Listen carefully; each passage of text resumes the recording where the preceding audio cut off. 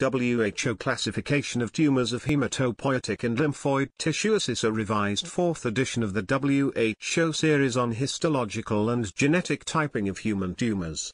This authoritative, concise reference provides an international standard for oncologists and pathologists and will serve as an indispensable guide for use in the design of studies monitoring response to therapy and clinical outcome.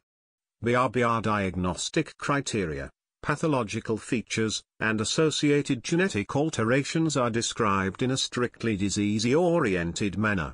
Sections on all recognized neoplasms and their variants further include new ICDO codes, epidemiology, clinical features, macroscopy, prognosis, and predictive factors.